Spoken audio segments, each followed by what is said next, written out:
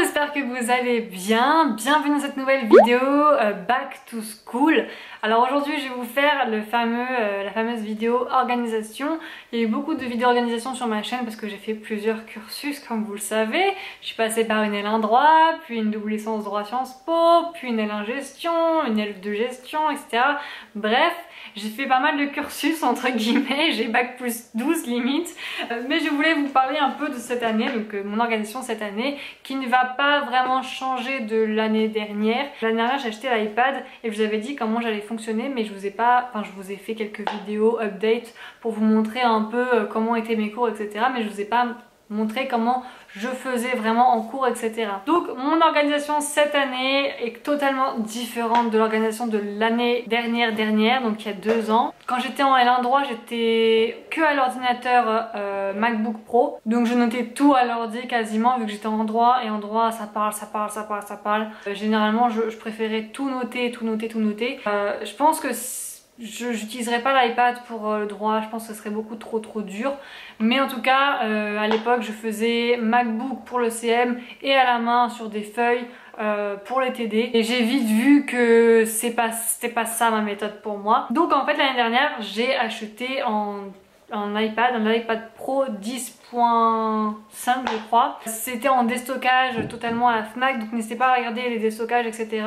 Euh, donc moi j'avais vraiment longtemps hésité pour l'acheter et au final bah vas-y je me suis laissé tenter et franchement ça m'est énormément utile. Je trouve que c'est la meilleure méthode de travail. Donc là si vous ne me connaissez pas, si vous n'êtes pas abonné à ma chaîne, si vous venez d'arriver comme ça, je m'appelle Elisa, je rentre en L2 gestion à la Panthon-Sorbonne. Qu'est-ce que je fais d'autre à, côté je travaille à Truffaut donc le week-end. Généralement le week-end je ne travaille pas mes je travaille mes cours que la semaine du lundi au vendredi.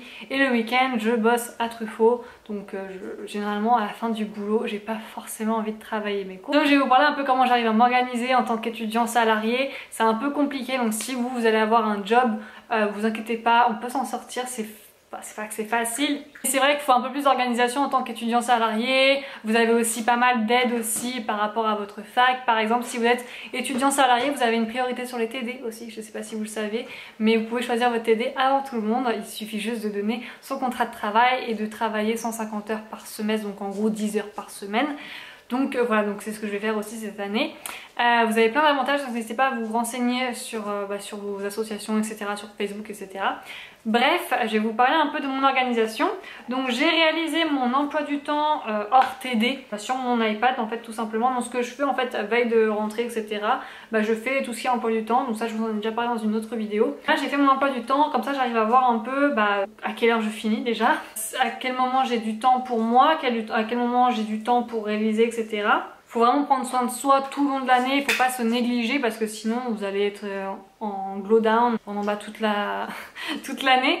Donc moi j'ai fait mon emploi du temps, je vous le mettrai bah, ici en image. Euh, donc là c'est hors TD, donc là comme vous pouvez voir il n'y a pas beaucoup beaucoup de cours par rapport au droit. Moi je fais toujours une comparaison avec le droit, mais il n'y a pas beaucoup de cours, c'est assez light, c'est assez léger. Les TD se rajoutent, les TD sont souvent le soir là que j'ai vu cette année. Ils sont souvent le soir et un peu dispersés, enfin c'est pas très condensé en fait, donc on perd beaucoup de temps. Mais sinon voilà l'emploi du temps il est comme ça. Donc au moins je peux m'organiser un peu, genre par exemple le mardi je vais plus faire de mes TD ou mercredi matin mes TD etc. Donc voilà comment je m'organise en fonction de mes trous et en fonction des trous par exemple, je sais pas si vous voyez entre 13h30 et 15h30 euh, le lundi je vais pas rentrer chez moi même si j'habite à côté, je vais pas rentrer chez moi, je vais aller directement à la BU pour pouvoir bah, bosser mes TD par exemple. Donc en fait dès que vous avez un trou je vous conseille vivement de bosser vos TD, euh, de faire vos TD etc. Euh, au lieu de rentrer chez vous ou d'aller boire un verre etc. Je sais que c'est hyper tentant, tout le monde l'a fait, même moi je l'ai fait mais j'ai bien vu que c'était pas qu'il fallait faire. Donc euh, voilà, quand vous avez un trou, n'hésitez pas à bosser. Plus vous bossez avec vos horaires de fac, genre euh, là pendant 8h, 17h, là vous vous dites pendant de 8h à 17h je suis à la fac et c'est moi qui bosse. Même si t'as un trou de 1h ou 2h ou 3h, bah tu bosses comme ça. Après à la maison, bah t'es pas obligé de, pas obligé de bosser le soir par exemple. Donc moi je fais souvent ça, dès que j'ai un trou je bosse, dès que j'ai une pause entre les cours je bosse. Enfin c'est rare qu'en amphi, tu sais pendant les pauses de 15 minutes, que je vais prendre un café, me détendre ou je ne sais quoi, je préfère bosser pendant 15 minutes à fond sur un truc que euh, chez moi galérer etc. Je préfère quand je suis chez moi être un peu plus posée, un peu plus tranquille. Donc ce que je fais moi entre chaque cours c'est que je revois mes cours, je regarde si c'est assez beau visuellement, si c'est assez clair visuellement. Donc je vais vous montrer ça au niveau de mes cours. On va prendre le dossier 2 de la macroéconomie. Donc en gros, si vous voulez un peu euh, par rapport à l'ordi, de ce que je voyais moi, en gros une page recto verso de mon iPad, ça fait 4 pages d'ordi en gros. C'est vraiment hyper résumé. Donc moi en fait mes cours c'est hyper résumé, c'est pas... Euh, enfin je fiche directement en prenant mes cours. C'est ça qui est hyper bien avec l'iPad, c'est que bah on peut vite euh, supprimer ce qu'on veut, on peut vite surligner ce qu'on veut. C'est vraiment hyper pratique. Donc là par exemple la page numéro 1, eh ben, euh, ça m'a pris pas beaucoup de place par rapport à l'ordinateur où eux bah, ils, écrivent les phrases entières en fait. Et donc bah, moi c'est synthétisé directement. Pourquoi je prends pas ça sur des feuilles directement ou sur un cahier, j'écris directement? Puisque mon écriture est illisible sur un cahier, c'est n'importe quoi. Des fois j'écris super mal et quand je relis, je, enfin, je comprends rien du tout à ce que j'ai écrit. Donc ce que je fais c'est que je, prends le morceau euh, de, la phrase, je le mets à côté, je le mets en plus petit et après je réécris bien correctement la phrase. Euh, ça arrive rarement, mais quand même, quand j'écris très très vite et quand la prof parle très très vite, je fais souvent ça, je réécris la phrase pour bien comprendre et je la synthétise en même temps et je la surligne, comme ça c'est déjà fait. J'ai pas une écriture magnifique, je suis gauchère, j'écris super mal, mais au moins c'est assez lisible pour moi et au niveau des codes couleurs c'est assez lisible aussi pour moi. Ensuite moi ce que j'aime faire dans mes cours c'est souvent des schémas, euh, soit je les fais moi-même les schémas, donc euh, j'utilise mon stylet comme d'hab, je fais le schéma etc. Soit je prends le schéma du diaporama euh, du prof, donc ça je le fais souvent en fait, généralement et t'envoie les diapos qu'ils vont utiliser dans le cours pour que tu suives en même temps en fait. Donc moi ce que je fais c'est que je scinde mon écran en deux. Je mets d'un côté mon cours, d'un côté le diaporama comme ça. J'ai pas besoin de lever la tête 15 fois comme ça pour voir le diaporama. Donc au moins je peux le voir en même temps que je peux écrire. J'ai pas besoin de toujours relever ma tête. Ça m'a gonflé, vraiment ça m'a gonflé. Donc je, fais cette méthode là, franchement c'est super. Donc j'écris en même temps. Sinon si je veux garder le petit euh, schéma, ce que je fais en fait c'est que je fais une capture d'écran du diaporama de ce que je veux. Je recadre et ensuite bah, je l'inclus dans, dans mon cours et je peux noter juste à côté. Ou sinon quand c'est des tableaux, comme vous pouvez le voir juste là, des tableaux par exemple, c'est un peu long à, refaire ou autre, et j'avais pas forcément besoin d'annoter. Donc là, là ce que j'ai fait c'est que j'ai juste surligné. Donc on peut surligner sur les captures d'écran qu'on fait. Donc ça c'est génial. Ah oui je vous ai pas dit mais c'est GoodNotes euh, l'application que j'ai. Elle est payante mais pas très chère. Franchement ça va vous pouvez foncer. Et je crois que j'ai même pas été encore euh, prélevée. Ça fait un an que je l'ai j'ai toujours pas été prélevée de GoodNotes, tant mieux, mais genre c'est 7 euros ou 6 euros. Je préfère GoodNotes que... Enfin, il y a, une petite compétition entre deux applications, GoodNotes ou je sais plus ce que c'était l'autre. Mais franchement, foncez pour GoodNotes, c'est vraiment une très très bonne appli. Ensuite, quand j'ai quand des définitions et que la prof dit que c'est hyper important, etc., blablabla, j'encadre en rouge, donc j'encadre pas avec un stylo, en fait j'encadre avec les, les, surligneurs en rouge. Et ce qui est bien, c'est que euh, avec cette application-là, vous pouvez soit faire des traits droits, soit enlever le côté droit et faire des traits comme tu veux, arrondis, etc. Donc ça c'est vraiment pas mal aussi. Et puis généralement, ce que vous pouvez voir dans euh, mon cours, c'est que euh, j'essaye de, structurer par rapport au, cours par exemple. Le grand A par exemple ça va être deux types de PIB grand B mesurer l'inflation. 3 euh, enfin grand C intérêt de calculer le PIB par exemple. Euh, ça ça prend des pages et des pages et des pages de ce que j'ai vu sur les ordi des autres. Parce que les autres ils écrivaient tout ce que la prof disait ou recopier le diapo ça n'a aucun sens. Mais moi en fait j'essaie de synthétiser un max. Je pense que vous voyez par exemple pour deux types de PIB PIB réel PIB nominal je mets en dessous les, les formules et euh, ce que c'est en gros. Et après, enfin, après voilà, c'est pas, pas compliqué, mais même pour mesurer l'inflation, l'indice des prix à la consommation, déflation, etc. C'est très très très très très synthétisé et euh, pas besoin de, détailler sur 5 pages. Là ça me prend 3 euh, lignes et, basta quoi. J'essaye vraiment de, synthétiser, par exemple aussi pour les limites du PIB. Euh, je fais souvent ce genre de choses, ça ça a bien marché, je l'ai fait au bac aussi. toutes mes fiches de révision au bac ressemblaient à ça, c'était des schémas, des carrés, etc. Donc si vous avez une mémoire visuelle, faites des schémas, c'est hyper bien avec des couleurs surtout. Donc là par exemple pour les limites du PIB, comptabilise pas assez, comptabilise trop, mesurer le bien-être, c'est des A, B et C. Donc moi j'ai synthétisé en petits carrés en fait. Enfin, j'ai pas expliqué beaucoup beaucoup parce qu'il n'y a pas besoin énormément d'expliquer mais, euh, mais voilà à quoi ça ressemble. J'ai ensuite bah, surligné les carrés euh, pour, euh, pour, apporter un peu de couleur, un peu de contraste aussi. Ensuite par exemple pour dossier 3 consommation, on va reprendre sur le même cours, formation de la consommation et de l'épargne, ça c'est vraiment euh, quelque chose qui, prend beaucoup de place dans le cours par exemple encore une fois, ça prend des pages et des pages sur le cours en, ordi. Et euh, quand c'est écrit à la main, ça par exemple je prends cet exemple là parce que beaucoup de ceux qui ont écrit à la main ils ont fait vachement de rayures parce que la prof bah elle se corrigeait etc donc beaucoup de rayures beaucoup de typex et quand t'as un cours hyper sale ah moi j'arrive pas à réaliser je suis désolée j'arrive pas. Donc heureusement que j'avais l'iPad parce que dès qu'elle disait ah bah non merde c'est pas ça et tout je me suis trompée patati patata hop je gomme avec mon truc et basta c'est propre en fait c'est lisible. Donc là c'est un peu fouillis entre guillemets mais c'est compréhensible pour ma personne. Donc en gros vous avez les deux, euh, deux approches, demande et off, Keynes demande, néoclassique et classique off par exemple. Euh, je mets ensuite les, les, différentes théories, en gros j'explique ce que c'est. Euh, ça tient sur une page et moi j'aime bien faire ça sur une page avec un côté Keynes, un côté néoclassique et diviser vers le VS en fait. On peut voir les différentes visions. Et ce que j'aime bien faire aussi par exemple, pour l'épargne c'est un résidu de la consommation. Et là en dessous j'ai marqué euh, consommation résidu de l'épargne. Et j'aime bien euh, surligner de la même couleur pour bien voir le contraste en fait, pour bien voir euh, les différences en fait des deux théories. Donc je fais ça avec les mêmes couleurs et j'aime bien aussi, vous voyez, faire des, petits schémas avec le revenu, taux d'intérêt, etc. Donc ça c'est facile à faire, ça prend 3 secondes et c'est pas, pas dégueulasse non plus à regarder.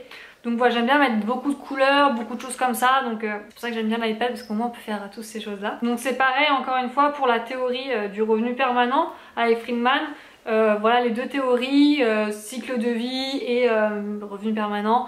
On peut voir les, deux mêmes choses en fait, c'est scindé, c'est en opposition, donc on peut voir ces choses là. Donc voilà, en gros mes cours se représentent comme ça. Et ça prend pas beaucoup de temps à faire parce que je ne les reprends pas à la maison, je fais ça directement en cours, je note directement. Et quand je vois que c'est un peu bouillant, par exemple, vous savez, là, les deux théories, là, Keynes et, et néoclassique, c'est un truc qui, prend beaucoup de place et qui est un peu galère à, structurer. Euh, donc ça, en fait, je fais à la pause, vous savez, les petites pauses de 15 minutes. J'essaie de mieux réagencer, de faire les couleurs, de, de mettre en gras ce qu'il faut mettre en gras. C'est qu'à la pause que j'arrange mon cours. En fait, je fais jamais mes cours chez moi. Jamais. Vraiment jamais. Dès que je sais qu'on va faire une opposition, hop, je mets un trait au milieu, je note les trucs, les idées principales euh, de chaque côté et voilà basta. Donc euh, je, me, franchement je me fais pas chier hein, vraiment. Ça prend pas, enfin ça prend rien du tout comme temps. Ça fait en fait une fiche de révision directement. T'as les deux, les deux visions sur une seule feuille, un recto, c'est hyper pratique. J'ai fait une fiche de révision, une seule. Donc ça c'était pour macroéconomie pour toutes les formules, parce qu'il y a beaucoup beaucoup de formules dans la macro et donc bah, pour les synthétiser, pour les avoir toutes sur une seule feuille, bah j'ai fait une fiche de révision, c'est ma seule fiche que j'ai faite. Donc les formules de macro, donc vous pouvez voir que j'ai fait des carrés, à chaque fois les carrés ça marche avec moi, les ronds, les carrés, les rectangles, les triangles, ça ça fonctionne beaucoup avec moi. C'est harmonieux, c'est, enfin je joue avec les formes, les couleurs, donc bah, moi ça m'amuse en fait, moi je suis une grosse gamine, j'adore les couleurs, j'adore faire ça. Donc bah voilà comment je procède au niveau de mes cours au niveau de mon organisation, je fais quasiment rien chez moi à la maison. Je ne, je ne fais aucune fiche de révision, je ne réécris pas mes cours. Tout ce que je fais là, tout ce que vous voyez là, c'est fait directement en amphi. J'imprime pas forcément mes cours, j'ai fait pendant toutes ces années mais je n'imprime pas forcément mes cours, ça prend beaucoup de place, vous allez voir dans le bureau, je vais vous montrer un peu tout ça parce qu'en fait à l'époque, comme je vous ai dit, je notais tout à la main au niveau des TD et mes cours, les fascicules et tout, ça prenait beaucoup de place. Maintenant les fascicules c'est en format euh, sur format PDF. Bah c'est génial comme ça. Ah oui, je vous ai pas montré pour mes TD, bah oui. En gros pour les TD, moi ce que je fais, je vais essayer de retrouver une image. Ouais j'ai un exemple, je sais pas s'il va être clair mais j'ai un exemple. Euh, en gros pour mes TD, notamment pour les maths, j'aime bien avoir mon sujet juste au-dessus de, la réponse en fait. J'aime bien avoir mon sujet et noter la réponse en dessous. Donc ce que je fais en fait c'est que je prends le PDF du prof, je screen en fait son, PDF et ensuite bah, je rogne et je, l'inclus dans le, dans le TD. Pour avoir tout dit, je vais vous montrer un peu le bureau, comment ça se passe. Euh, pour vous montrer un peu comment je faisais avant et comment maintenant je fais maintenant. Ça a bien changé. Je vous montre dans mon bureau, euh, donc au-dessus en fait vous avez tous mes pixous et en fait à l'intérieur donc c'est des meubles Billy. Donc le côté où c'est caché, bah, c'est pour mettre tous les trucs moches en fait. donc là en fait c'est tous mes cours de droit, des choses comme ça, enfin ça prend énormément de place. Là c'est mon L1, S1, L1, S2, là c'est encore des cours ici, là c'est des cours, des cours, enfin voilà, ça prend beaucoup trop de place. C'est pour ça que j'utilise l'iPad parce qu'au moins là, par exemple, ma gestion, j'ai rien imprimé en fait. J'ai quasiment rien imprimé. J'ai imprimé, je crois, deux ou trois feuilles et basta. Donc euh, ouais, ça prend beaucoup de place. Donc là, je les garde parce que voilà, c'est des trucs de droit et ça me servira toujours. Mais ça prend quand même pas mal de place. Donc euh, c'est pour ça que j'ai utilisé l'iPad. Ensuite, en, dessous, vous avez tout ce qui est cahier. Donc ça, en fait, c'est des boîtes que mon papa m'a filé. Sinon, ça, vous pouvez retrouver à Emma. Ça, c'est Action. Ça aussi, c'est Action. Euh, donc là c'est des cahiers, des fournitures et tout au cas où si j'en ai besoin. Là c'est tout ce qui est important, facture, le bac, YouTube, etc. Truffaut. Là c'est mes cours et fiches du lycée, donc euh, je les garde quand même. Et euh, parce que ça me rappelle des bons souvenirs. Et ensuite là sur l'autre côté de la bibliothèque, il y a aussi ça, donc c'est hyper moche. Et en gros, bah, c'est encore que des cours, cours de droit, encore une fois. Enfin, ça prend une place pas possible, vraiment. C'est une catastrophe ça prend trop de place, c'est lourd, c'est chiant, donc c'est pour ça l'iPad au moins tout est numérisé et euh, c'est écrit à la main donc euh, moi j'arrive un peu mieux à comprendre mais euh, ouais ça prend beaucoup de place, c'est pas possible. Ensuite au niveau de mon bureau donc j'ai toujours un sous-verre qui est juste ici, un sous-verre en effet marbre rose, enfin quartz pardon, fait marbre. j'ai toujours une petite bougie que j'allume quand je bosse, ça c'est petite déco, ça c'est un cactus qui s'allume aussi, ça là c'est aussi ma petite ampoule que j'adore, elle est trop trop belle. Ça fait une petite lumière trop sympathique. J'ai quand même beaucoup de place, c'est un bureau de 80 cm, de toute façon je vous ai déjà fait une vidéo dessus. Je vous mettrai un petit si vous l'avez pas vu. Et en gros bah, je bosse sur mon ordi ici. Tout ce qui est euh, bureau comme ça, là, les petits trucs comme ça, euh, j'ai pas vraiment rangé rangé donc faites pas attention à ça hein. mais en gros là c'est tout ce qui est euh, petit petits trucs comme ça, enfin des petites fournitures, des post-it, des crayons de couleur, des petites pinces. C'est tout ce qui est trousse avec, vous savez, glu, règles, surligneurs, il y en a partout, il y a des surligneurs, euh, des choses comme ça. Enfin voilà, j'ai pas mal de surligneurs encore ici. Là, c'est tous mes notes, en fait, tous mes sticky euh, notes, mes, euh, mes organisateurs. Enfin voilà, j'ai plein de choses comme ça dans, les, dans ce tiroir là. Là ici c'est encore des conneries. Je crois que c'est... Là il y a ma calculatrice, il y a des, planificateurs aussi ici. Tout ça, c'est un peu le tiroir fourre-tout. Là, c'est tout ce qui est petites trousses, euh, mes lunettes anti-lumière bleues, euh, les petites trousses, les posca, enfin les choses comme ça, des petites trousses en fait. Et le dernier tiroir, c'est des crayons de couleur et je mets aussi mes, mes, trucs de, YouTube. Donc euh, tout ce qui est trépied, etc., je les mets là-dedans. Dans tous les cas, vous avez la vidéo dédiée à mon bureau si vous voulez voir comment on a fait le bureau parce qu'on l'a réalisé. Donc euh, voilà, j'ai mon imprimante en face de moi, j'ai un espace de travail donc ça c'est cool parce qu'avant j'en avais pas, ça fait très longtemps que j'ai pas eu de bureau. Donc voilà pour cette vidéo, j'espère en tout cas que ça vous aura plu, que j'ai pu vous apporter quelques petits conseils. On me demande souvent euh, d'où vient l'iPad etc. À chaque fois en DM, Insta etc. On me demande tout le temps c'est quoi ton iPad, c'est quoi ceci, c'est quoi cela? Mon iPad c'est un iPad Pro 10.5 la coque, je l'ai acheté sur Amazon. Je vais pas vous donner le lien parce qu'il y a de tous les prix. Prenez le moins cher. Donc c'est une coque avec un clavier. Prenez le moins cher, vous l'avez aussi sur AliExpress. Et le stylet, c'est le stylet, je ne où le stylet, euh, c'est le stylet qui va avec l'iPad, donc il n'y en a qu'un seul, c'est la première génération. Sinon la deuxième génération, c'est pour le nouvel iPad Pro que je n'ai pas. Bref, voilà pour cette vidéo, j'espère en tout cas que ça vous aura plu. N'hésitez pas à liker si c'est le cas et à vous abonner à